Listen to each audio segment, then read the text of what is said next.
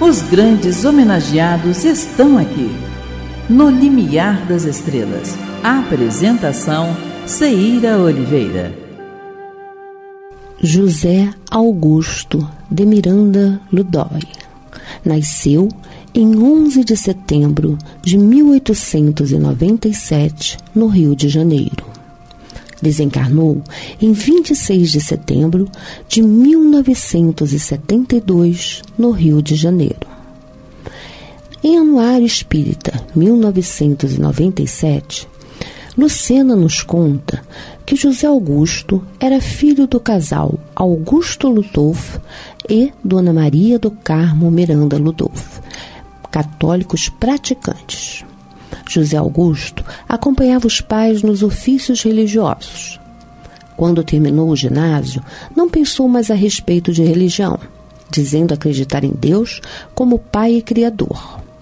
Em 1918, José formou-se pela Faculdade de Direito do Distrito Federal, exercendo a profissão com brilhantismo e honestidade sendo muito conceituado entre clientes e amigos. Em 1917, José foi passar férias em Muriaé, Minas Gerais. Sua mãe recomendou-lhe que exumasse os restos mortais do irmão dele, desencarnado três anos antes, pois desejava colocá-lo junto à família no Rio de Janeiro. Lá chegando, cumpriu o prometido e colocou o volume debaixo da cama, para posterior remessa, mas não o fez por esquecimento.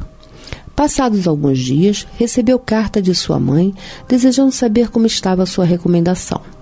Não querendo contrariá-la, respondeu que havia cumprido tudo e que já havia remetido para o rio. Porém, novamente esqueceu o prometido. Recebeu nova carta dela, muito aflita, pensando que a preciosa encomenda houvesse extraviado. Nessa noite, não dormiu direito, tendo um pesadelo horrível. O irmão lhe aparecia angustiado, solicitando urgência na remessa dos restos mortais para tranquilizar a mãe. Teve a impressão explícita de que o irmão lhe censurara o desleixo. Nessa mesma manhã, remeteu o invólucro para a família. José não teve mais paz. O pesadelo continuava. Regressando ao Rio de Janeiro, um amigo lhe sugeriu que procurasse o médium Inácio, num centro espírita em Botafogo. Abençoado o momento seu encontro com aquele querido médium. Logo na primeira consulta, tudo passou como que por encanto. Foi cientificado de que era médium e que precisava dedicar-se aos menos afortunados. José passou a frequentar à Federação Espírita Brasileira, onde tomava passes e ouvia palestras. Em 1920, transferiu residência para Muriaé, onde montou um escritório de advocacia e fundou o primeiro centro espírita daquela cidade, sendo eleito presidente. Estudou as obras de Allan Kardec, desenvolveu a mediunidade psicofônica e deu início à tarefa de expositor. Em 1926, retornou ao Rio de Janeiro, associando-se à Liga Espírita do Brasil. Aurino Barbosa convidou-o para a presidência da Liga, recebendo apoio de todos e, a partir daí, passou a atuar em todas as áreas do Espiritismo. José participou de incontáveis eventos pertenceu ao Conselho Federativo Nacional da Federação Espírita Brasileira.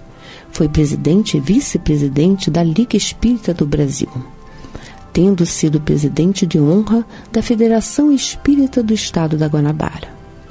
Por tudo isso, pela sua vida, José Augusto de Miranda Ludolf está no limiar das estrelas. Você ouviu pela Rádio Rio de Janeiro, No Limiar das Estrelas.